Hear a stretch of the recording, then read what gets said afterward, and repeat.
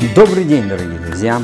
С вами Капля, и мы продолжаем говорить о дисциплине. Сегодня я хотел бы сказать одну, еще одну фундаментальную вещь, э, перед тем, как мы будем говорить о правилах. Нельзя наказывать, если в доме нет четких правил. При этом правил, касающихся абсолютно всех граждан семьи, всех членов семьи в равной степени, начиная с папы, заканчивая самым младшим ребенком. Правила очень важны. Если у вас нет правил, то вы даже не имеете морального права привлекать ребенка к ответственности. Мы, как взрослые, э, не всегда понимаем, что правильно, что неправильно.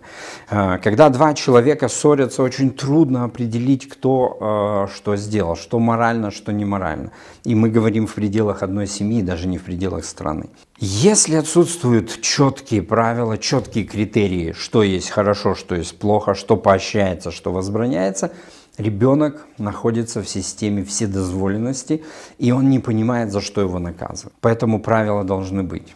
Они должны быть четкими, простыми, их не должно быть много. И критически важно, чтобы эти правила исполнялись абсолютно всеми членами семьи. А, дело в том, что дети, они гиперчувствительны к справедливости. Для них очень важно а, ответить на такой вопрос, да, почему мне нельзя, а Машке можно.